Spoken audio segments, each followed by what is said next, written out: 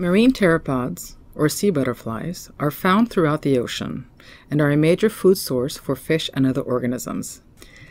In laboratory experiments, this pteropod shell dissolved over the course of 45 days in seawater adjusted to an ocean chemistry projected for the year 2100. What changes in the ocean might be putting pteropods at risk? The burning of fossil fuels has caused levels of carbon dioxide in the atmosphere to rise. This carbon dioxide, or CO2, doesn't just stay in the atmosphere. Roughly 30% of it is absorbed by the ocean. When CO2 reacts with water, it forms carbonic acid, which quickly releases a hydrogen ion, or H+. The more hydrogen ions, the lower the pH, or more acidic a solution is.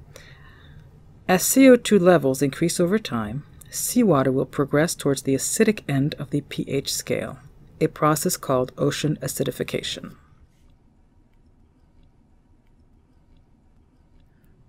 We can make projections of this change in the ocean pH over time.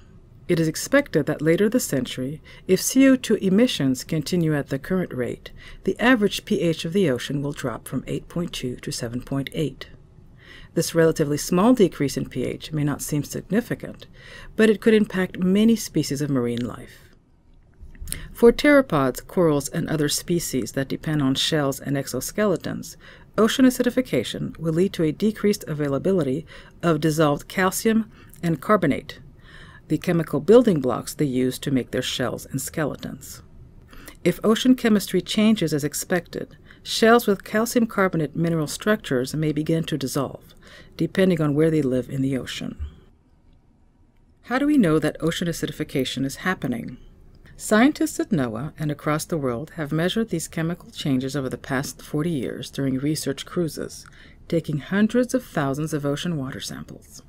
Shown here are the results from cruises in 1991 and 2005, where the availability of the shell mineral was sampled. In both years, the highest concentration of available shell minerals were found in the surface waters as shown by the dark yellow colors.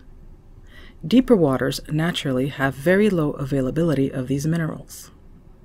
However, when we look at how these values have changed between 1991 and 2005, we see that the availability of the shell mineral decreased much more in the surface waters, as indicated by the blue colors. In other words, ocean acidification is impacting shallower areas much more than deep areas. Shallow waters are where the bulk of the ocean productivity occurs, including the most diverse and economically important species and habitats. And these changes aren't occurring in just certain parts of the ocean, they're occurring throughout the entire ocean. Today, repeated research cruises and permanent sampling stations continue to monitor changes in pH and availability of calcium carbonate minerals.